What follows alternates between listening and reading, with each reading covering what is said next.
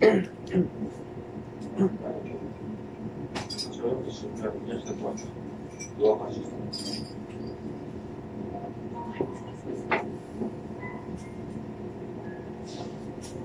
Thank you.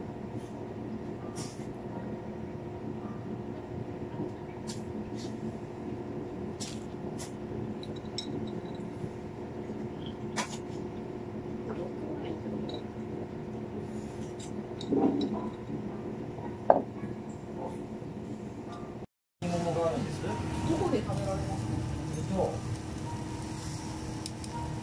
ットで調べると結構そのイカモモを使ったスイーツを出してるお店が新町なんとかにもあるんですけど、あ、この朝市朝市からパフェがまだ。ち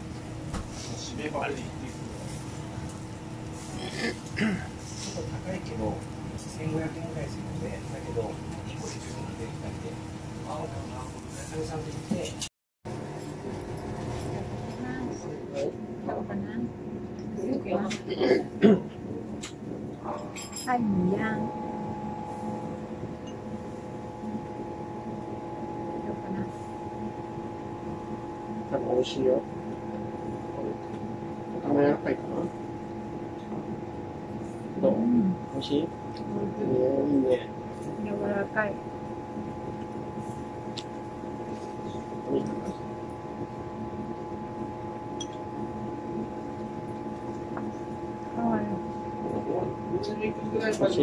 しい。あの、あ、あの、親子ああ、そう、そういうの。やっぱ見たいものに確かに違いますね。肉にいるのは嫌。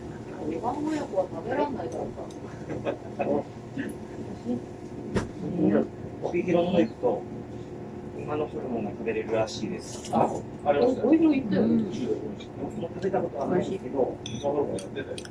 あの、馬ホルモン食べる人曰く、馬ホルモンを取るうまい。ものはない。って言ったんだけど、それって、食べれない。珍しい。ものを食べた味があ。柔らかい。ね。馬の親子連れ見た後で馬ホルモンは食べられない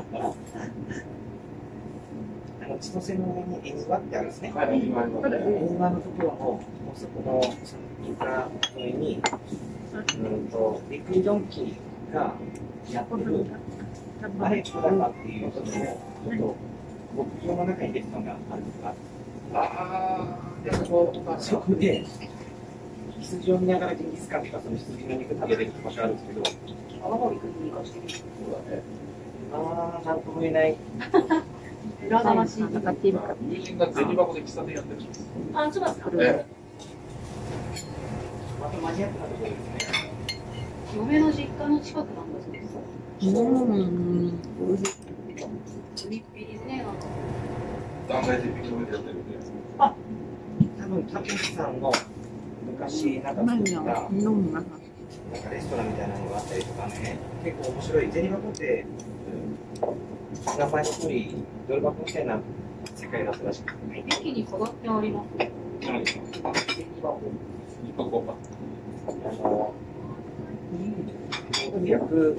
魚がすごい甘てですかね海水浴場もあるし。キー場もあるね。はい。スキー場は多分あれ丁寧の方なんで、ちょっと箱に入っちゃうんですけど、場所的にはいい場所です。ただ人間、男の子に限りの話で言うと、人間は悪いやつ多いです。彼悪いやつです。出身がゼニバコなんですか、その方。あの、奥さんがすね。そうですね、奥さんがボトルの人で。多分奥さんは、その花。が、奥さんも昔悪かったかもしれない。奥さんはお嬢様だって言ってましたよ どういうお嬢様？あの、悪いやつ多いよとか。あそうだよ横須賀なイメージあの、それこそ、極楽の加藤とか、はいはいはい。あの辺なんだ東京の松岡とか、あの辺が全部悪いやつね。真面目な顔して。ないですよね。できればミディアムぐらいまでやった方が味が出ます。そして。焼きます。これあの焼きすぎると血の味がちょっと出て。しまって、なので炙りって。名前つけばいいのも、腹立つんですよ。う。待って。ると皆さん結構開いちゃうんですよ。か、あの、生すぎるか、柔らかすぎるか。ちょっと意識してくださいって意味で、わざと炙りって名前を、してくれるじゃないで。い。ろいろ食べてみて、その、で、まあ、レアぐらいで焼いて食べました。どうかなミディアムぐらい食べました。どれが一番うまかったですかやっぱりミディアムぐらいかな。この油にちょっと僕、つけてる場所があって、見て出すんですけど、その、油のうまさと肉のうまさが絶妙に出てくる。で、レアで食べるとそのうまみが全然出てこないになっちゃう。だからサクサクしてて、わ、美味しい。辛い。そのサクサクで味がない、さっきの新庄先生いたんですけど、こっちの子たちも生もの好きなんですね。常連さんいえ、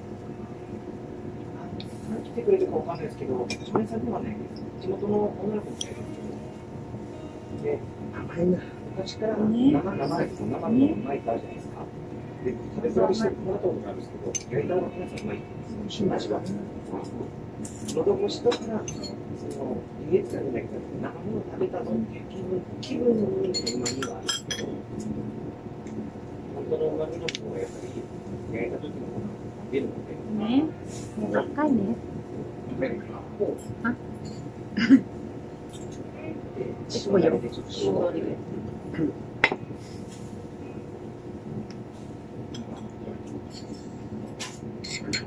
食べると最高だね。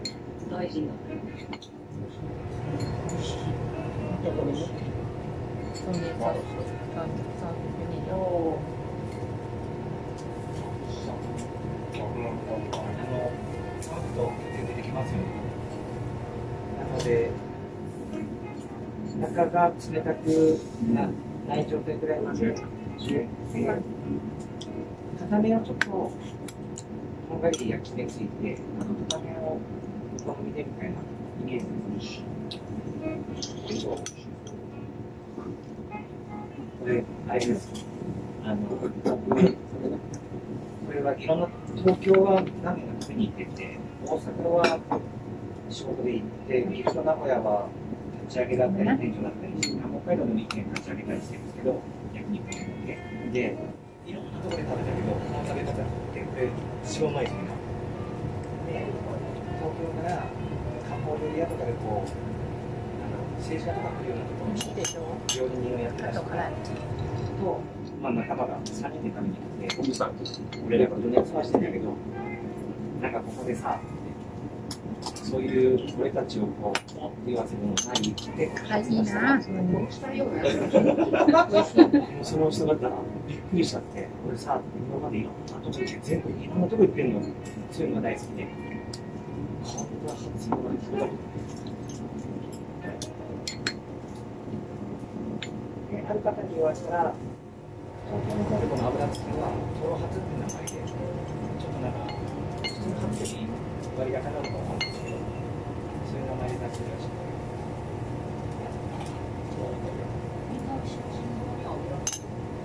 一応ついてはいるんですけど、んあのちょっと今日ぐらい壊せないと使わない。今日帰ってきたんで、これちっちゃいの方なんですけど、ここに油がついてるんですよ。これはあの人間で言ったら危ない心臓です。そうですよ心筋梗塞になるやつですそうです。